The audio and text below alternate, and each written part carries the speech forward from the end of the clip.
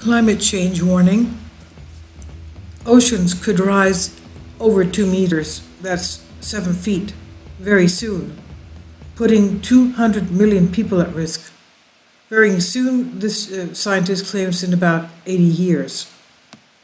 This is uh, by Tom Fish on Express UK. Still, that's pretty fast. That's almost one foot every 10 years. Sea levels could surge seven feet in the landmark study worst case scenario into the effects of man made climate change.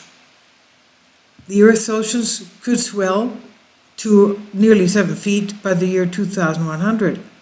This would displace hundreds of millions of people, according to this research. The rising water levels would destroy more than a million square miles of farmland, triggering profound consequences for humanity this makes the latest study into the effects of man-made climate change twice as much as previous doomsday predictions into a potential global warming apocalypse, quote unquote.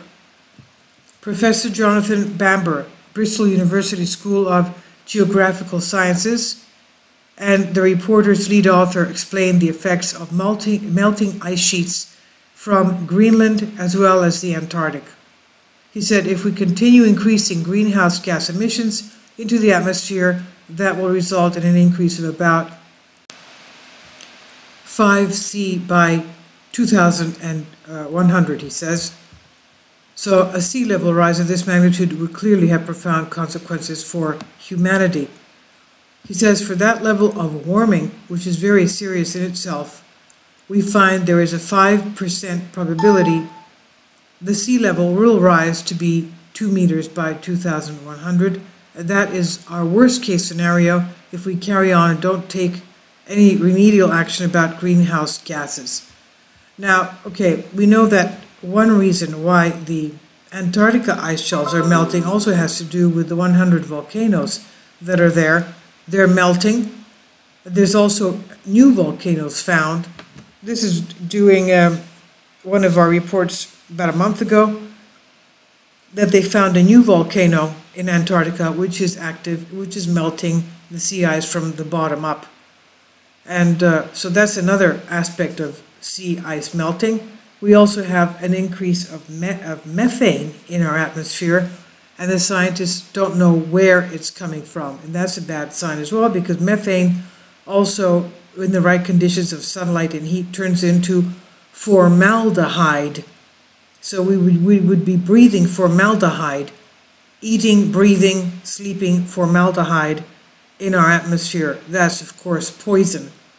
Um, uh, so it's not just uh, the man-made effects, it's also what's taking place as far as Earth changes are concerned, geologically.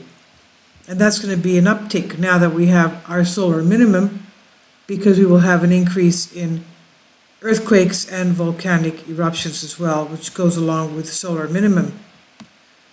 So uh, he says is this is our worst case scenario if we carry on, don't take remedial action concerning greenhouse gases.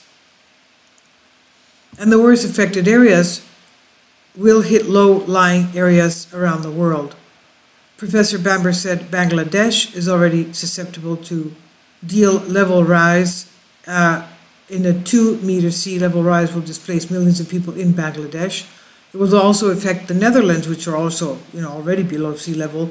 They have dikes in order to keep the, keep the seawater out. It will affect the Netherlands, Denmark, parts of Florida, as well as the mega cities including London, New York, Rio de Janeiro, and Shanghai. And let's remember that even Long Island itself is very low lying. I've been to North Carolina, Hilton Head Island, you know, it was raining and that the whole thing got flooded. We're, the, the, the streets were underwater. It's just terrible. Uh, already we have areas that are very low lying, let alone having sea level rise. So uh, he says we do not have much time to mitigate the worst effects of climate change. The scientist explained, he said, we have really got a decade or so to take the radical action in order to reduce these emissions. He says if we do that now, then we can avoid the very high sea levels we have been predicting. The shock finding, of course, is based on a technique called structured experiment judgment that pooled the knowledge of 22 climate change specialists. So this finding, this technique builds on rationale rather than political consensus by accounting for both uncertainties and diversities of opinions or perspectives. In their first study of its kind, the international team found protection strategies should consider future sea level rise, that's SLR for short, will exceed 2 meters, that's 6.56 feet. The University of Bristol led study provides the most accurate understanding up to now of their effect, with sea level rise posing a threat to, of course, all these coastal communities and ecosystems. This is what the researchers explained. As we know, most cities are very low lying. They're on seacoasts, they're on the banks of rivers, which are very low lying most times, especially, of course, uh, Europe, you know, the old continent, as well as the new cities in the new lands, of course. Now, this will help the implementing adaptable adaptation strategies that require quantitative projections of future sea level rise based on numerical facts. But much can be done to mitigate the worst effects of climate change. Professor Bamber said if we don't avert, avert or take action against the worst consequences of climate change, the impacts on humanity will be very profound. We do have time and the technology, and we know what we need to do.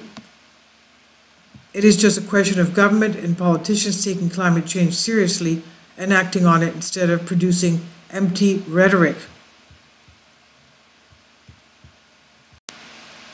Now, I'm looking at sea level changes worldwide.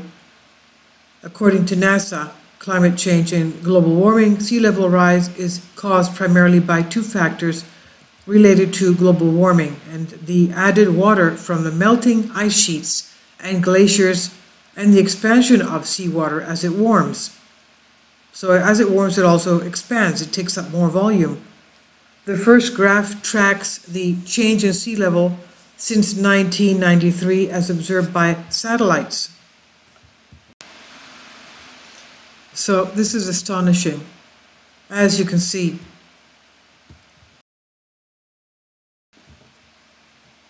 We have the readings from 1880. That's at zero, okay? The sea level change is zero, 1880, and we can see the increase of uh, millimeters, in millimeters. 1900, it was about 40 millimeters, 1920, 50, 1940, every, just uh, about every 20 years. 1940, from zero of 1880, went down up to about 60. And then in 1960, it was about 120. And uh, 1980 was about 140, I would say. In the year 2000, it was about 170. And up to now, it's about 240. Sea level rise, 240 millimeters in uh, just over 100 years, 140 years. And from what I've converted, 240 millimeters is about 9.45 inches, let's say 10 inches. Okay, so it's about an inch a year, let's say. No, uh, uh, an inch every 10 years. So, and this was before basically the, uh, the full-fledged climate change that we have now. We saw the 1960, for example. Up to now is 100 millimeters, just as it was 1880 up to 1960.